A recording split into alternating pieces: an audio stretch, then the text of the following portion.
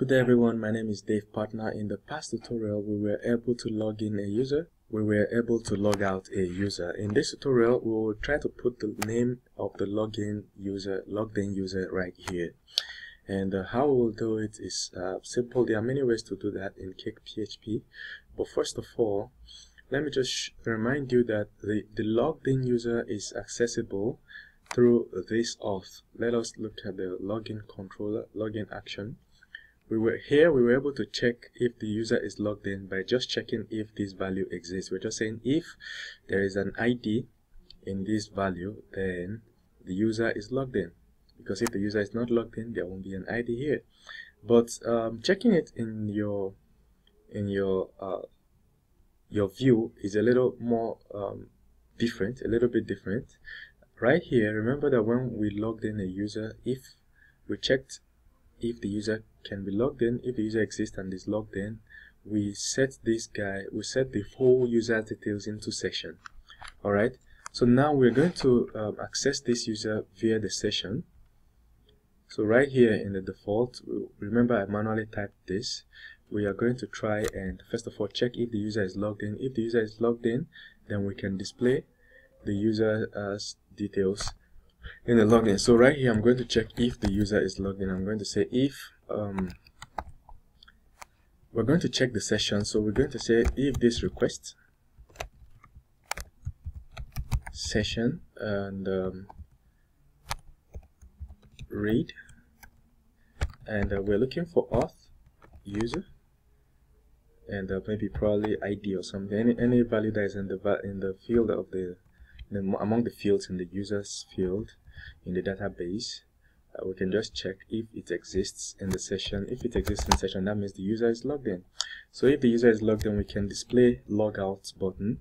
We can display the user's name. So we can display these two guys if the user is logged in. All right. So only logged in users can see the logout button. And of course only logged in users can see the name of the current logged in uh, user. Now this is this how do we now display the name of the user? What we can do is to say um, right here we're just going to um, PHP and like that we can just do an echo. We can just echo whatever we have inside here. PHP echo and we're going to just we don't have a user name in our database and we don't have first name middle name last name. So I'm just going to echo something we have which is email. At least we have the user email now, uh, this is very long. There's a way we can shorten this, but let's just be sure that this works. So if we get back to our code, and uh, what we do is a refresh, we reload, and uh, we're expecting the username to be user email to be here. As you can see, it works perfectly because the user is logged in. And uh, if we log out, we'll see that there will be nothing right here. As you can see, it has disappeared because we actually in our code we isolated everything only to logged in users. So that's how to check whether a user is logged in, but uh, this is very long and cumbersome. Is this what you have to do every time you want to uh, echo anything in the users, any of the users details? What we can do is to go to our controller, our app controller. Remember that app controller is the root controller. So we go to our app controller and uh, we make sure that um, we can just check if the user is logged in we, we without checking we can just set we can just set this. You know um, this this is a way you can set a, var variable send a variable to the view in cake php from your controller to the view. If you want to send a variable to the view this is how to do it. You just use set. Then we're going to call the variable anything we want. So for me i want to call it um, i can just say auth user or whatever. I'll just call it auth okay? If i can just say auth and then I'll save everything in the auth into the session. So here, here I'm just gonna say everything here. Cool. So I'm sending everything to the view. I'm just saying everything you have saved in auth session send it to the view as auth. So what we'll do in the view right here remember it's in our default.ctp what we're going to do in the view is instead of checking for this long stuff we're just going to delete everything and check if auth exists. If the variable auth exists and then we're going to um, for all these other guys we're just going to say um, everything here. We're just looking for auth um, whether we just want to echo auth um, user and uh, we're going to echo the user's email. And um, this is supposed to do the magic we want the exact same magic we wanted so we're going to refresh. Of course uh, we have to log in I'm going to log in. As you can see still works nothing displayed. I'm going to log in as Trump Hillary. Trump Hillary and I'm going to use a password of um, password if you remember clearly. And we're going to hit the submit button.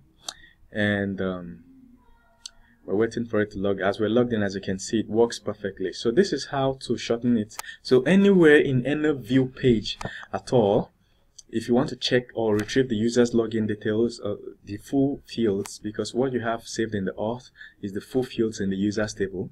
So if you want to check for it you just use auth because you defined it in your app controller. This your app controller before render is what happens before the view of your app renders. So before filter is like more of like what happens before your controller renders. So you have to put it in before filter and it's in your app controller now uh, one more thing we could do there are many uh, options you can set here for instance uh, when the user is logged out in our app, when the user logs out, it goes by default, it returns by default to the login page. What if you don't want it to return to login page?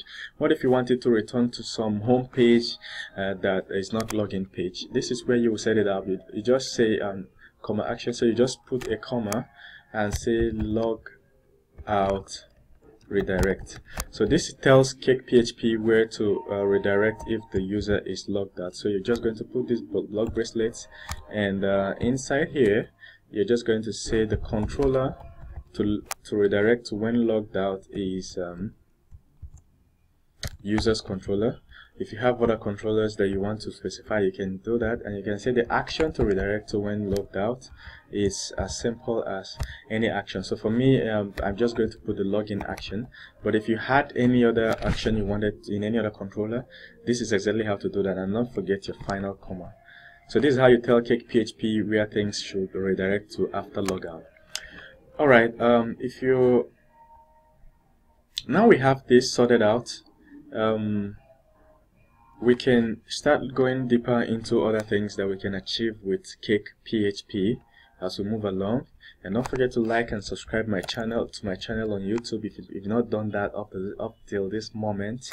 That is exactly what you should do right now. So you hit your browser and um, visit youtube.com then you're going to put a slash then you're going to put a C then you type brain temorg.org and hit enter you'll see a whole lot of video tutorials a cache of video tutorials that you can also watch or understand and that's the best place to contact me if you need to contact me. Then when you when it opens hit on the subscribe button and get on with your full video tutorials. Thank you very much and uh, see you in the next video